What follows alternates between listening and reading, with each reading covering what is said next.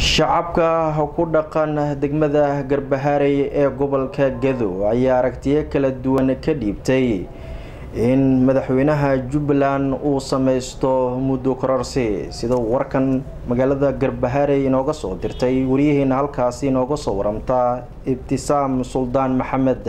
Shacabka ku nool degmada garbaharey ee xarunta gobolka gado ayaa waxay aragtiyo kala duwan ka bixinayeen in madaxweynaha dowlad goboleedka jubbaland uu doonayo inuu waqti ku darsado muddadii u harsanayd dhanka kale waxa ay bulshada sheegeen inay u baahan yihiin in ay codkooda ku keensadaan golo deegaan. Waa kuwan qaar ka mid ah bulshada ku dhaqan degmada garbaharey iyagoona ka hadlayo dareenkooda. Golaha deegaanka inuu yahay wax muhiim ah ummaddu inay samaysato wax iyadoo ay gacanteeda ku samaysatay waa waxa keliya horumar ay ku gaari karto. Marka aad baan u soo dhawaynahayaa waana guul runtii waxay ummaddu tabayso garbaharey la il daran tahay waa la'aanta golaha deegaanka. Marka aad baan u soo dhawaynahayaa si fudud haddaan uga jawaabo maamulka jubbaland asagaas magacaabay muddo kororsiga ayaga ahayd afar sano ayuu ku dhammaystay afar kale ayuu ku darsanahayaa welina inuu dee hawshiisa sii wata ayuu doonahayaa haddii hore looga asmacay inay kororsadaan muddada maanta taftaan la haysanaa ma dhici doonto mana dhacayso waa qalad mana yeelayno bulshada reer jubbaland waxaan ugu baaqayaa meel kastoo ay joogaan inay gacanta isqabsadaan u midoobaan cadowgooda.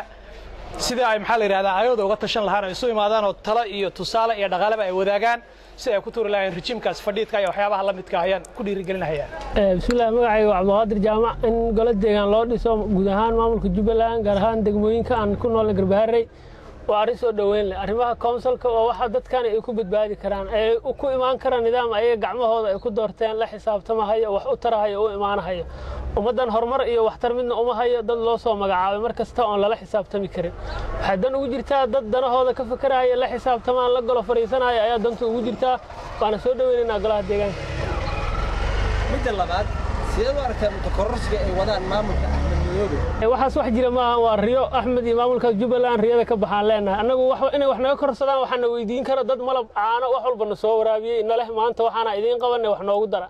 Dad aanan waxay soo tareen iyo waxay noo geysteen. Aan ognahay ma u dulqaadanayna inay yidhaahdaan waqti waan kororsanaynaa waxaas waa riyo waxaan soo dhoweynaynaa arrintii ay ka soo saartay wasaaradda arrimaha gudaha ee ahaa maamul walba inuu qabto doorashada xilligeeda uu sameeyo taasaan soo dhoweynaynaa aan ku garabsiinaynaa nidaamka axmedna inuu indhaha u kala furo oo aqbala ayaan rajaynaynaa haddii reer jubbaland waxaan ugu baaqaynaa aayihiinna idinku idinla jira. Axmed lama jiro dowladdaha lama jiro midna aayihiinna idinku idinla jira. In aayihiinna aad ka tashataan araahdiinna aruurisaan fikirkiinna samaysaan maamul idinka aad dhisanaysaan aad dhisataan sidaasaa dantiinna ku jirtaa. Mar walbana aan ilaana isku garabsiiyo isu garab taagnaada magacayga waxaa la yidhaahdaa hodan cabdidiiriye waxaan ahay guddoomiyihii hore ururka haweenka degmada garbaharey.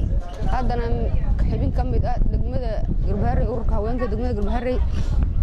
Waxaan u arkaa in loo sameeyo konsol degmada garbaharey horumar iyo nabad iyo rayrayn iyo maxaan ku dhahay deganaasho iyo marxaladda hadda ay ku jirto oy ka baxday baan u arkaa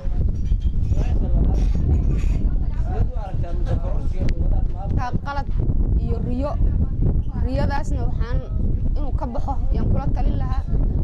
Dowladda federaalka dowladda dhexe inaysan ka asmacinna waa kula talinaya arrintaas ayada ah wax suurtagala maaha wax dhacayana maaha wax dhici doonaya waxaan asmici doonana tood bulshada reer jubbaland waxaan ugu baaqi lahaa in ay ayaga dhexdooda qof cod doorasho ay samaystaan. In ay muddo kororsiga axmed maxamed islaam aysan ka yeelin.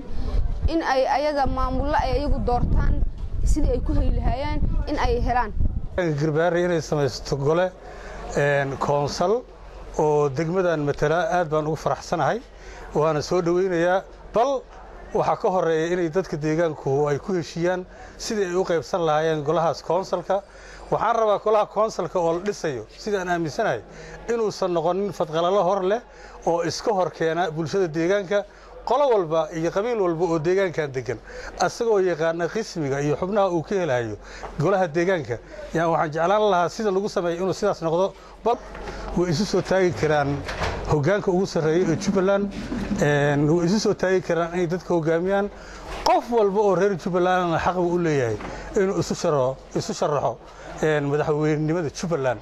Wax hortaagan taas ma jiraan. Sida aan aaminsanahay. Jubbaland meel walba ay ku nool yihiin waxaan ugu baaqayaa inay lexjeclaalo ahaadaan. Jubbaland inay ayaga iska leeyihiin ay dareenkooda geliyaan aysan ku fikirin inuu qof iska leeyahay.